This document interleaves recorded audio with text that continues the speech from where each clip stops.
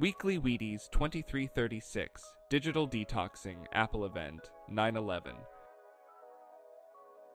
Digital Detox A minimalist guide to decluttering your smartphone. With the Apple event happening last week and my upgrading, read more below, I started cleaning out my current phone in preparation for a smooth and quick switch. But before we dive too deep, I'd like to suggest a change in our culture and language. Phone should default to mobile phone or cell phone, and we should begin to specify landline, office phone, desk phone, etc., moving forward. So, spread the news in dictionaries nationwide. That said, your phone is an extension of your personality. It stores your personal information. It acts as entertainment. It replaces much of a wallet or purse with pictures, payment methods, and contact information, and much, much more. For one, use the 90 90 rule when deciding to keep an app installed. Have you used the app in the last 90 days, or will you use it in the next 90 days? If the answer is no, you may feel free to delete it, or move on to see if it's worth keeping.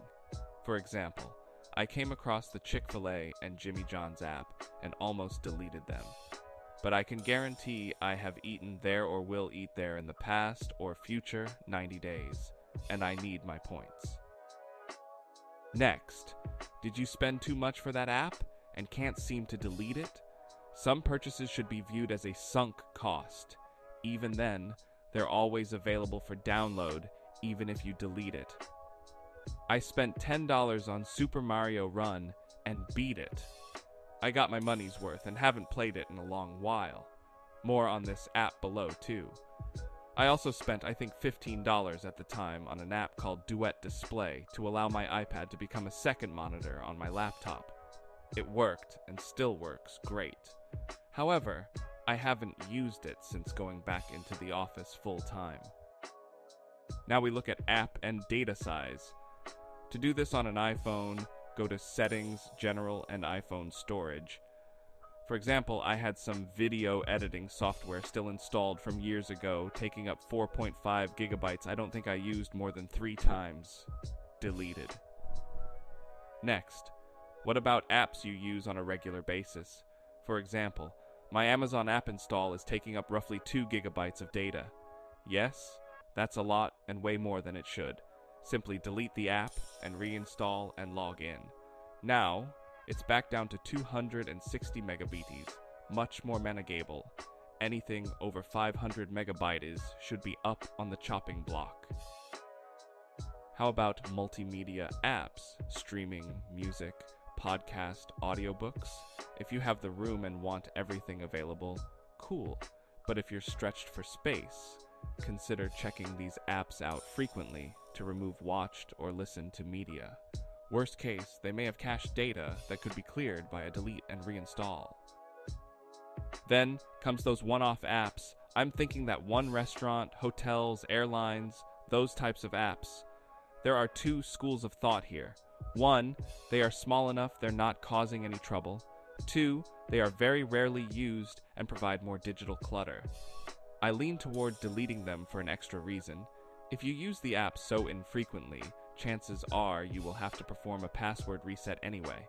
And you probably have to update the app too. So why not just remove it and start fresh when the time comes? You can always download and prepare in advance if going on a trip too. Lastly, games.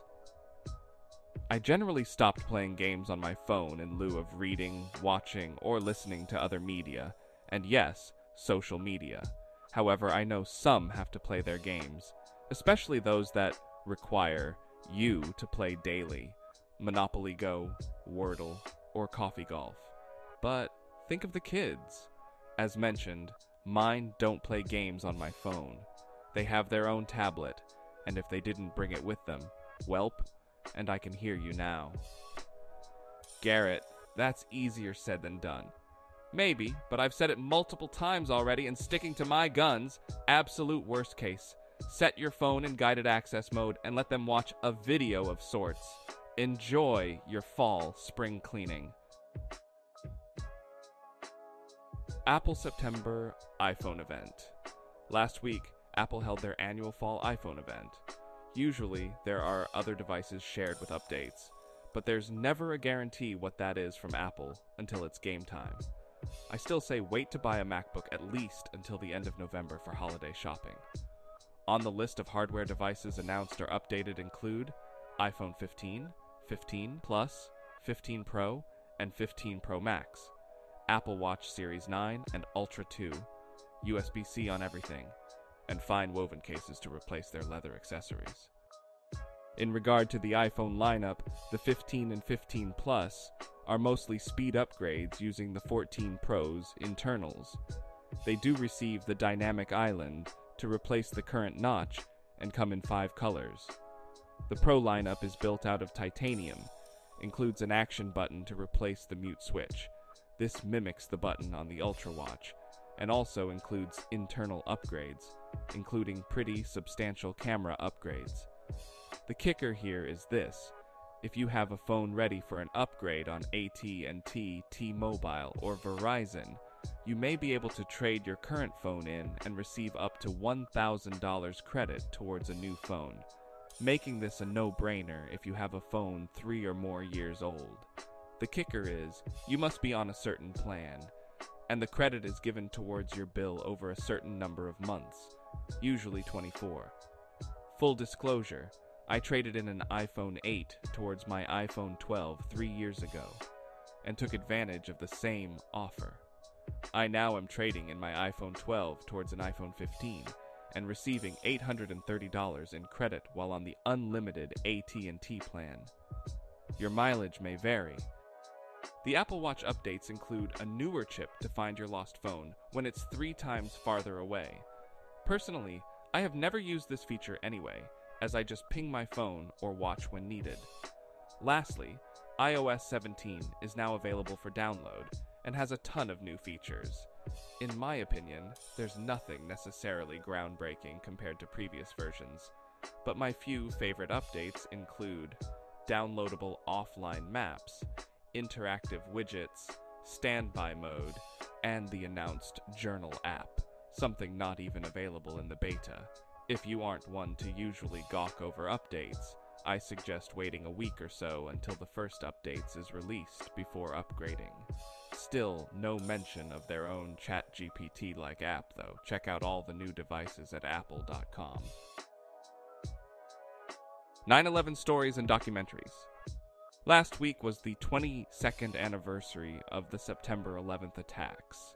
While there have been many great resources in regard to documentaries and stories to be told, I wanted to share a few I saw make the rounds last week. How the 9 11 memorial reflecting pools are deep cleaned on Facebook. Boatlift, an untold tale of 9 11 resilience on YouTube. 17 essential documentaries to watch on PBS. Weekly Wheaties is a reader supported publication. To receive new posts and support my work, consider becoming a free or paid subscriber. Links for the above mentioned items are available at weeklywheaties.com.